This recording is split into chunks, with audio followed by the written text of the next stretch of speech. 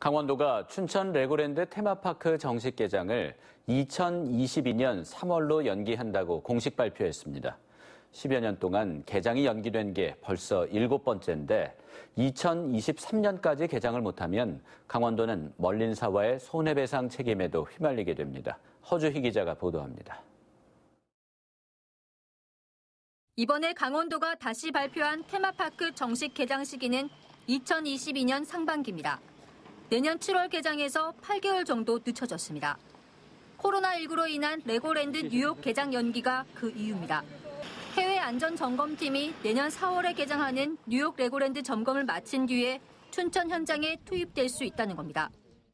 멀린사와의 협약상 개장은 2023년까지는 해야 합니다. 이때까지 개장을 하지 못하면 손해배상 문제까지 발생할 수 있습니다. 코로나19와 같은 전염병 사태가 또 발생하거나 다른 외부 요인으로 2023년 개장마저 하지 못할 가능성에 대해 강원도는 면책 조항이 있어 문제가 안 될 것이라고 답변했습니다. 코로나로 인한 거는 서로 면책 조항이기 때문에 아마 그걸 가지고 우리 강원도에서 책임져라 이러진 않죠. 뭐 천재지변에 이런 어, 범죄에. 강원도는 레고 호텔을 제외한 공정률이 59%로 테마파크 공사는 차질 없이 진행되고 있다고 밝혔습니다. 하지만 국민의힘 강원도당은 강원도의 발표대로 2022년 개장을 해도 반쪽짜리 개장이 될 수밖에 없다고 비판합니다.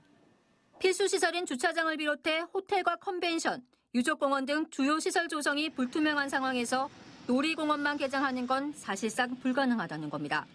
잘 되고 있다고 이야기하면서 이렇게 개장 약속을 일곱 번이나 변경하는 것은 지금 이 사업이 잘 되고 있지 않다라는 것을 지금 보여주고 있는 것입니다.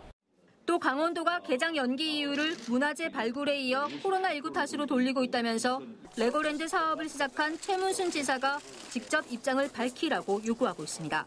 MBC 뉴스 허수입니다.